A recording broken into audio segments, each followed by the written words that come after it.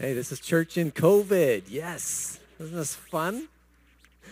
Um, so, as I was saying, I will. The youth are staying in. I, if you don't know me, I'm Mike Bennett, and I, I, work with youth and young adults here. So sometimes when I preach, I, I do invite our youth to stay in with us. So I'm really thinking of you guys this morning as I've prepared. So I want you to feel interactive.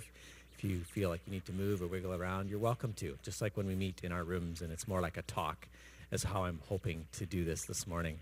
So, actually, to kick it off, there's a really fun video on prayer put out by the 24 7 prayer movement. So, uh, Jade, one of our youth on the slides, would you put that up? We're going to start by watching this little video.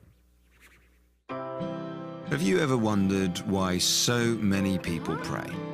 Well, Albert Einstein said that there's really only two ways to live as if nothing's a miracle or as if everything's a miracle. Either life's a fluke and we're just a bunch of highly evolved animals on a big rock lost in space, or there's a creator behind creation, a, a, God behind goodness. And if so, then connecting with him in prayer is pretty much the most mind-blowing thing you can do. Archaeologists keep digging stuff up that shows we've always prayed. People of many faiths pray daily. Even atheists admit to praying sometimes.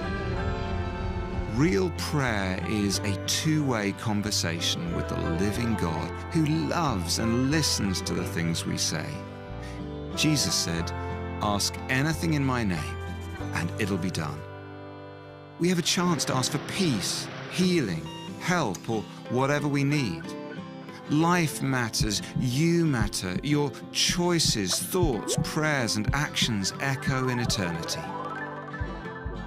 But in case you hadn't noticed, God is pretty much invisible and not always easy to hear. There are distractions, disappointments, and questions that we all share. That's why 24 7 prayer does stuff to help thousands of people in hundreds of places connect with God in new ways. People are learning to pray by just praying. Why don't you take on the challenge of a 24 7 prayer room? Just gather your friends, find a place, pick a week, get creative in the space, and fill every hour of the week with a chain of prayer.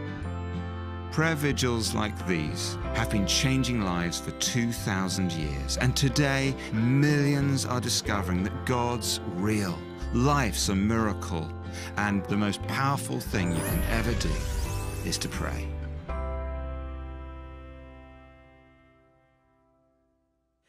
Imagine you wake up tomorrow and that issue you are facing, that need that you have, is suddenly met. All the obstacles currently in your way have suddenly cleared up and makes this possible. Take 30 seconds on your own. How would you feel?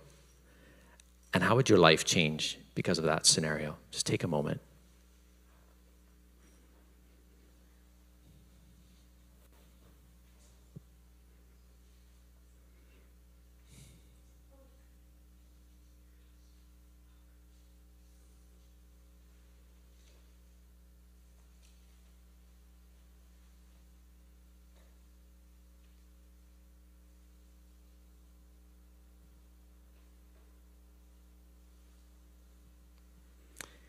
Okay. Uh, and now take another 30 seconds or so. If you are so inclined, you could turn towards someone right beside you or continue to sit on your own and maybe relate something. What did you feel as I asked you that question? Uh, what was the issue or what would change in your life? So just, I'm going to give you another 30 seconds just to maybe process that together or even at home alone, however you are. Just take a moment and reflect on what you just experienced.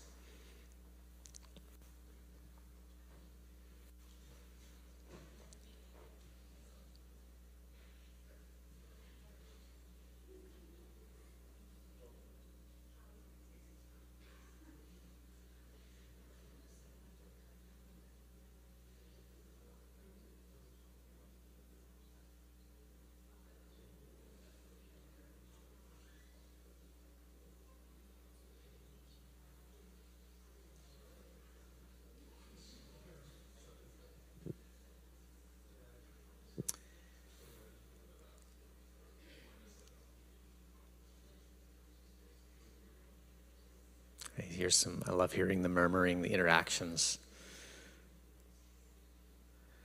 Okay. The question I just asked you and that reflection I, we just did, in the world of counseling, they call that the miracle question.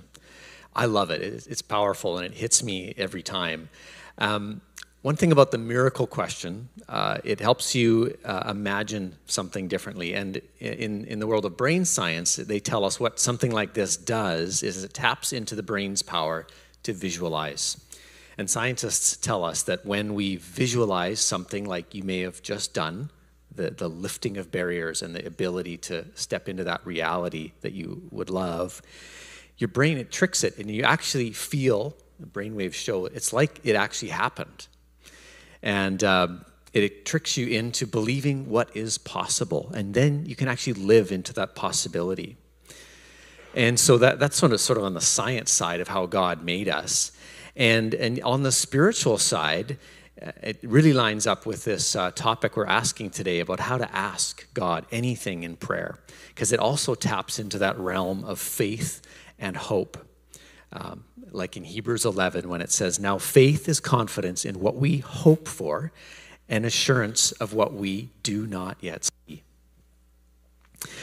So I think as we begin a sermon on prayer about asking, we need to begin with the right assumptions.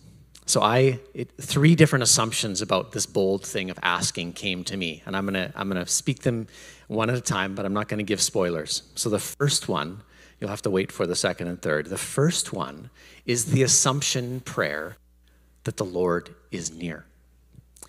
So there's a famous scripture. Uh, I'm going to ask Jade to bring the first slide up. There's a famous scripture we often jump to, and many of you would probably know it when we're anxious and worried. There's that scripture that says, Do not be anxious, right? It's in Philippians uh, 4, verse 6 and 7. And yet, just before that is this verse, which is verse uh, 5, actually 4 and 5. And it says this Rejoice in the Lord always. I say it again, rejoice. Let your gentleness be evident to all. Why? The Lord is near. So we often, I do, uh, had someone point this out to me. We often skip this section and we jump straight to the next verse. But before we do that, let's let's pause and even, like we said, visualize the Lord is near. The creator of the universe is a near God. That changes everything. We don't have a distant, far off God. We have a knowable, up close God. And the Bible, from the beginning to the end, paints this picture in many different ways, emphasizing that the Lord is near. So we'll go to the next slide, which is the more familiar part of the verse because that's true, we can now pray. Do not be anxious about anything, but in every situation, by prayer and petition with thanksgiving, present your requests to God. And the peace of God, which transcends all understanding, will guard your heart and minds in Christ Jesus. So, we can ask or present our requests to God and have His peace fill us. Why? Because the Lord is near. So, again, another question for you. What's your experience with that? The Lord is near. And it's sort of to, we've been plumbing the depths of that in the first two weeks. The Lord is near. So we started in prayer with pause and be with the Lord who's near. We then go to rejoice. We can, we can rejoice with God who is near. So that's how prayer starts on this assumption that the Lord is near. And so here's some, I thought of some potential scenarios where I believe this helps us, this reality that the Lord is near in daily life. So you might be thinking, you know, you're at school, they don't like me. No matter how I try, I don't fit in. The Lord is near. But I'm, I'm not doing well, and I don't even know if I'll get into that school program or, or graduate. The Lord is near. I try to have a godly dating relationship and I want to get married someday, but I'm just so tempted and I'm, I'm feeling shame. The Lord is near. I thought this job would make me happy. Why am I so miserable? The Lord is near. He's sick, and the doctors are saying this cannot be healed. The Lord is near. These are the real scenarios. We need to be reminded that the Lord is near. When the disciples, we see in the Bible, when they asked, Lord, teach us to pray, how did he start?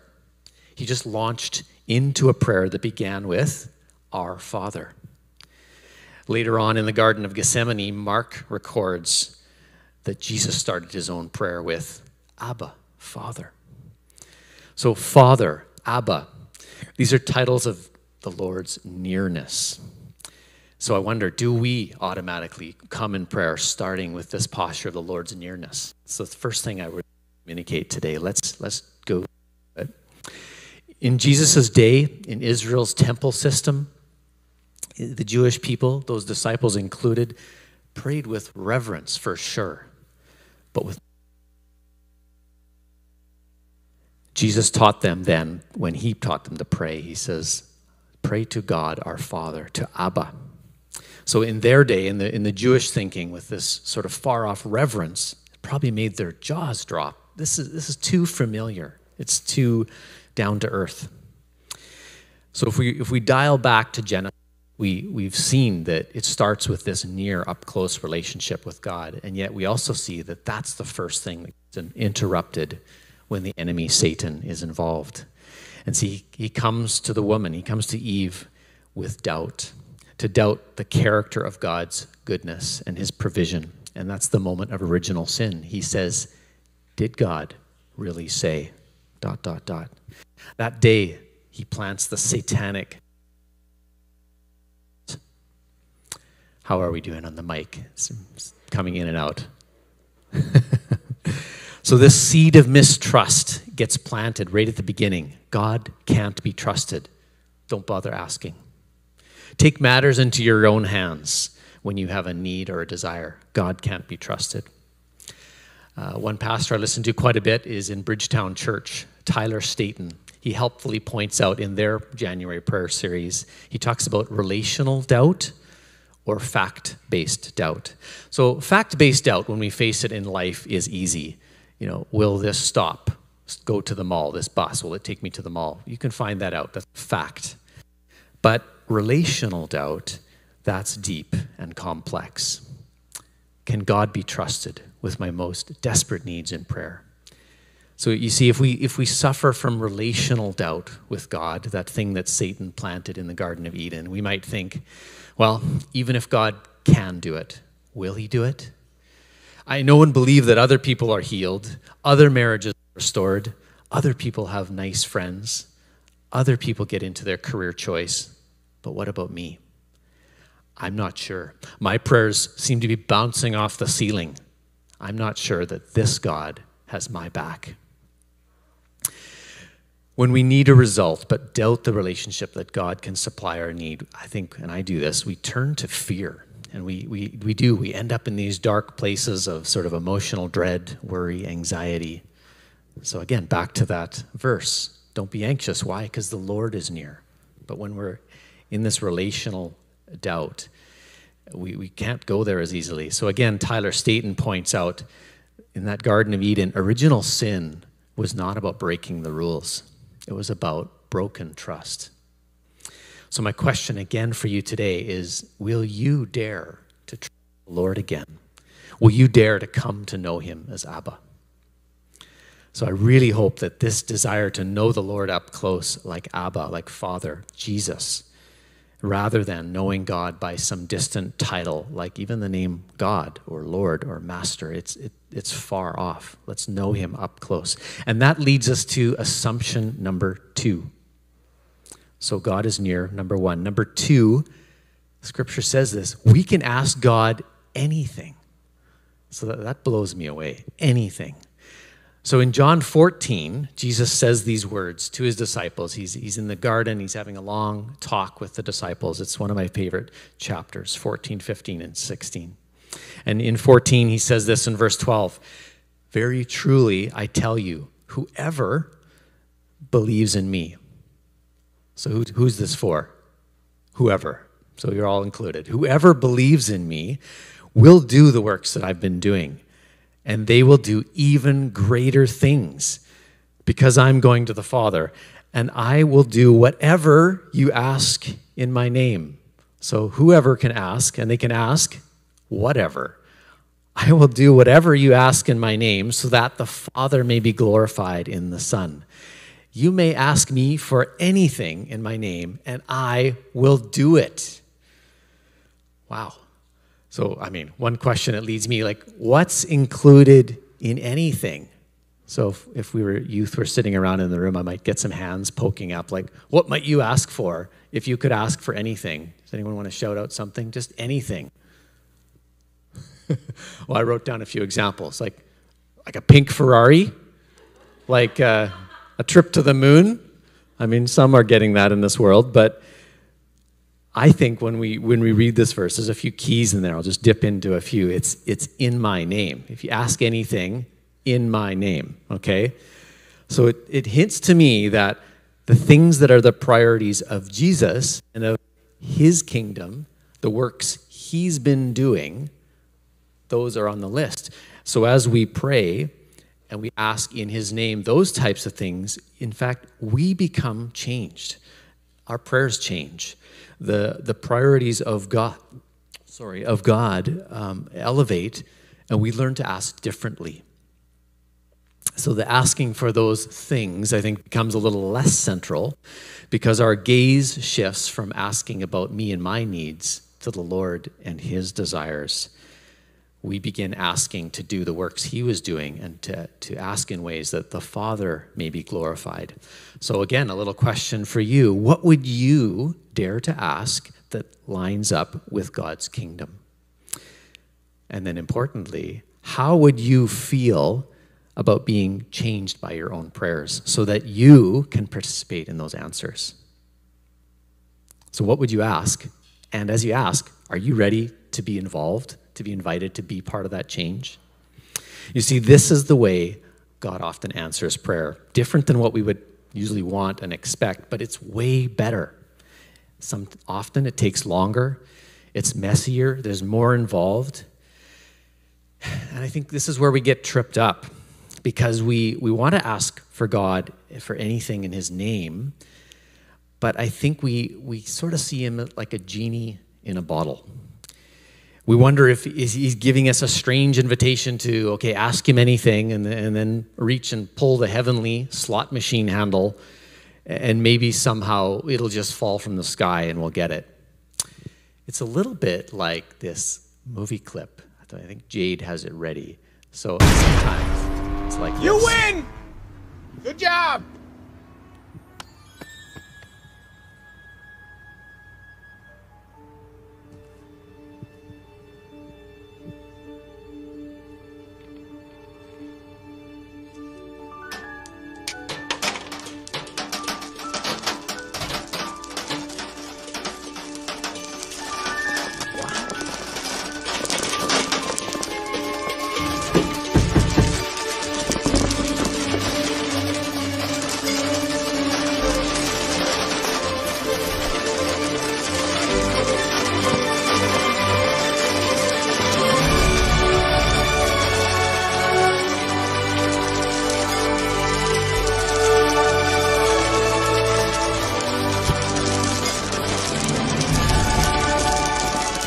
This is spooky.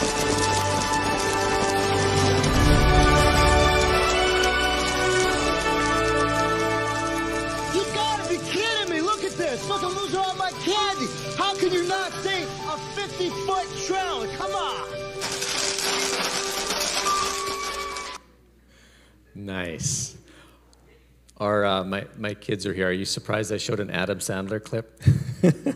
Might be one of my sort of secret favorites. So, in this movie, Bedtime Story, the uncle, Adam Sandler, is tasked with caring for his niece and nephew for a weekend. And at bedtime, his, these crazy kids make up these stories, and weirdly, whatever they say, like, oh, gumballs from the sky, sort of happen the next day. It's, it's a very funny movie. Um, but is that what we are left with when we pray, Lord, we ask anything in your name? Is it random like this? Because I don't think it actually is like this, where gumballs fall from the sky. So, to, to turn a corner and to, to talk about how I think this does work more often, uh, for I want to take an example with something we've prayed often here at Granville Chapel. We, we've often prayed, Oh Lord, Would you help those trapped in Vancouver's drug crisis? You've been here, we've, we've prayed those prayers. However, what if God's answer to that desperate prayer would involve something like this? So you're here, you pray that this morning, and then you feel moved. You feel moved in your guts by a feeling that won't let you go. Some months go by, you keep praying that, and you decide, you know what? I, th- I think I'm going to apply to Langara or UBC, and I'm going to take a social work program. So you spend, you spend some years honing your skills. You struggle, you pray, you wonder, Lord, are you going to do anything with this crisis? But then five years later, you're done your school, you've got a job, and you find yourself working in a shelter. You're holding the shaking hands of a young woman who's been abused since childhood, and she's looking into your eyes and wondering if she has the courage to go to drug rehab. And all this stemmed from your prayer, maybe this morning, Oh Lord, help those trapped in the drug crisis. So, what if asking God and receiving his answer looked like this? Slow, long acting prayer. I experienced something like this in university. So, I was in third year at the University of Saskatchewan at the time in my uh, study program of medical microbiology. And to this day, I remember a moment in a particular class when the plight of the global poor um, in countries like Africa, South America, when, when they resonated on my heart. The professor was talking about uh, those who needlessly suffer with simple diseases like cholera and malaria that seemingly drug companies who are in our nation they don't care about because guess what? Those diseases don't impact us. I was moved. I just something i felt a desperate need in the pit of my stomach. My guts churned and i couldn't forget the feeling sort of from then on in my sort of young 20 year old mind did i pray that day in class i actually don't remember but i'll never forget the feeling that i was moved by and that feeling became a, a, sort of new internal set point, a new kind of goal started to form in my mind as I continued to study microbiology. I began to feel a deep desire to use my degree to help the needy. Taking more attractive, glossy options that my friends were taking started to lose their appeal, and I couldn't quite explain it. So, fast forward four years. University was over. Cleans and I were married. And at that time, we lived up in northern Alberta in Grande Prairie, where I had started a career in some science based jobs, but I found myself at the, looking at the end of a one year uh, temporary contract that I had taken, and I had no plans. A thought entered my mind could we go to Africa? Okay, so Cleanne and I started doing some research and ended up applying to an organization called Mennonite Central Committee, MCC, that we had heard up of growing up in a church. So maybe you're here this morning hearing about mission organizations. That happened to me. So we applied. And it took us to Zambia, where I was then a high school science teacher in, in a local rural community. So there I was on the ground learning the names of people directly impacted by AIDS and malaria in villages. Our own young daughter, Kiara, was born there. She caught malaria. So there I am living and working and uh, taking small actions. Uh, we gave Kiara malaria drugs. Uh, one day, actually, a neighbor, uh, fairly poor, said, You know, our child has malaria. So, sure enough, we had a stash of these more expensive drugs that we gave to them, and their son got better. So, there I was, making some actions that linked to what I had prayed. But it gets better than this, even because uh, while there in Zambia, one of our students uh, is, was named Jackson. He came, he was a grade seven student that came to the school where I worked in grade eight. Uh, I think Jade has a picture of that's Jackson and his wife Aseline and Mucho. So Jackson came as a student, attended my school, and what I didn't know at the time is he was a refugee from Burundi. And later, once we were back in Canada, he ended up in Canada, finished grade 12, took a nursing degree in Winnipeg. Uh, some of you have met him here. He's spoken at Granville Chapel. And so today, you can go to the next picture. Jackson and his wife, Aseline, who's a nurse, run a small hospital in his home village that had been devastated by war. It's called the Ubuntu Clinic. Cleanza and I are, have stayed involved. We, we help them send emails, we send money, we help invite others to send money. This Christmas, $93,000 was raised to help this hospital and the desperate needs that they, they, um, they cover. She's, she's doing a feeding program with, with soybeans that they have grown because in hospitals in Zambia, there is no, uh, sorry, this is Burundi, there's no food. And you can't heal, even if you have drugs, you can't heal if you don't have food. So she came up with a program that we need to feed our people so the most desperate are getting this uh, nutritious food. So let's rewind. Did God answer my prayer? The third year university 20 year old Mike's prayer some 20 some years ago? Yeah. Did he answer it beyond what I asked or imagined? Yeah. Did I get involved doing things even greater than Jesus did? I think so. I mean, no competition, Jesus. But, you know, through our little involvements, there's hundreds of people being served daily, Uh, and long term needs, critical needs are being met. I'm not competing with you, Lord Jesus, but I think, you know, He said pray and do things like me, but even more. So I ask you again, what would you dare this morning to Jesus that lines up with God's kingdom. Even if that doesn't have words, it's more of a groan in your guts. And how would you feel about God inviting you to participate And these, these, this type of desperate asking God in prayer, it's, it's for you if you're in grade six.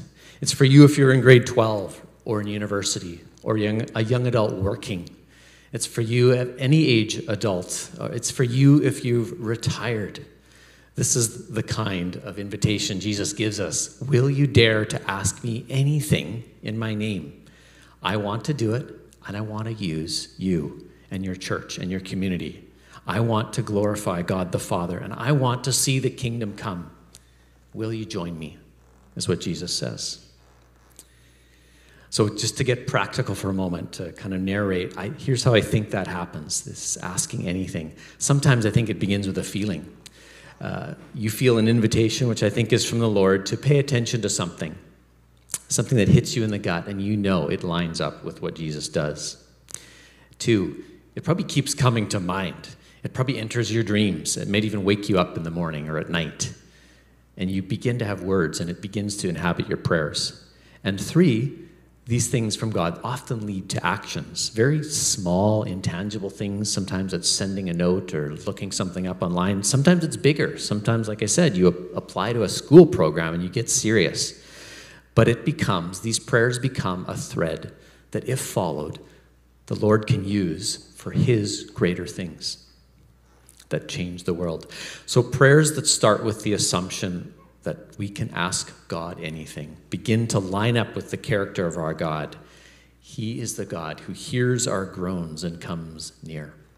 He, he's the God who, in Exodus, we read in Exodus 2, the Lord said to Moses, I have indeed seen the misery of my people. I've heard their crying out because of the slave drivers, and I'm concerned about their suffering. So I have come down to rescue them. Dot, dot, dot. So now go. I am sending you, Moses, to Pharaoh to bring my people out. See how that works? Right from the beginning, God says, I see, I feel, let's do it together. So the third assumption here it is the Lord is near. We can ask anything. Number three is a bold one the Lord always answers prayer. And here's what I mean by that. I, there's two things I mean by that, and I, am borrowing a little bit from a woman called Bethany Allen, also from uh, Bridgetown Church in Portland, their Heaven on Earth series this summer. You see, Bethany grew up with a sister who had a chronic illness. So you've got to know, she prayed, her and her family prayed a lot of desperate asking prayers. So Bethany says this When we pray, number one, God always answers prayer by coming near by his presence. So that's the first one. The Lord is near. So the ultimate isn't the ultimate healing of our human condition and all these things we could ask that the Lord would be near, that we're not alone in the universe. And when we pray like Jesus and our, our hearts cry out, Abba, Father, and we actually feel filled and changed by the Lord who's near. So, in this way, in this first way, the Lord always answers prayer. He does it by coming near and being that source of need, that deep need. Uh, it, Jesus expresses it like this in John 17, 3. He says, Now this is eternal life, that you would know the only true God and Jesus Christ, whom he has sent. So, this answered prayer by gaining the life, the real life of the Lord with you, that's the first way he always answers prayer. You, you may be struggling to have friends and find acceptance. Well, the Lord is going to come near to you in that prayer. Uh, he's going to help you in all the things you pray about. He's going to be with you. And the second way that Bethany says, and I, I believe as well, that sometimes when we pray, God does the miracle. He does restore bodies and He does fix situations beyond our needs and, and our wants. The, the biblical word for this uh, is dynamis. It's, it's God's word for miracles. So these also happens. Uh, Nicky Gumbel says it this way He says, When you don't pray for anybody, nobody gets healed. But when you start praying for people, some people get healed. I really like that. You see, we can read in Scripture, Jesus didn't heal every person or fix every situation. And it's because God is doing something bigger, and he, but He's always at work, but it's not often in the ways we always want or see, because He is God, we are not. So, in this kind of dynamis prayer, sometimes we see it, um, Jesus heals instantly. For example, the bleeding woman in Mark 5, Jesus felt power, dynamis, go out of him. We see it when he's restoring the leper we see it later in Acts. It's the same word. The disciples are given dynamis, power by the Holy Spirit. And interestingly, that, that power is used, yes, for healing and those amazing works, but it's also used for the same word is used in Scripture when he's praying, Oh Lord, that we would be holy and we would follow your ways. Interesting, isn't that same miracle healing word is the same thing we need to be godly and holy and live lives of, of uh, his kingdom. And so uh, someone said it like this When the Lord does choose to heal in that miraculous power, it's like God is fast forwarding the story towards final redemption in the present. Uh, because in, in, that, in that future reality, God will be offering full healing, uh, life in a restored, new, created body. So that is where we're heading. And sometimes when we pray now, in this in between time, God brings that picture into the present. So sometimes. So, yes, today, this week, let's pray for miraculous healing. Let's not be shy. We're praying to a good God who's our Father. Um, just one more quick story before we really go to the end. I, I saw this at work. I've seen all types of prayer at work, and sometimes, only sometimes, I've seen sort of this more miraculous prayer at work. Uh, and it came in the form of a girl named Jamie, who's from Vancouver. Um, so I know her more through some friends I knew in InterVarsity. So Jamie was a young lady who, at 18, uh, developed a bit of cancer.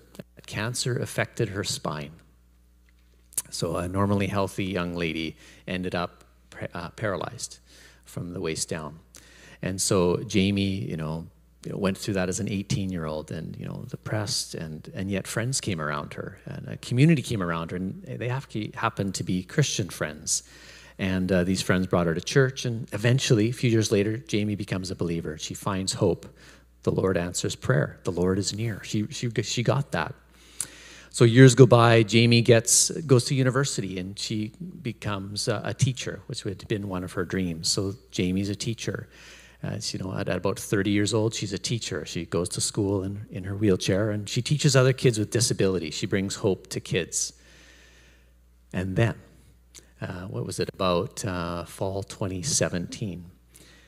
So Jamie's, you know, going about her life and probably prayed many times and maybe even gave up on praying for the actual healing of her body. But then in that fall, she started uh, dreaming at night, which maybe hadn't been common for her, is what she said. But she, she began dreaming that she, uh, that Christmas, would be able to go up and do the Advent reading. She was a, a member of First Baptist Church in Vancouver.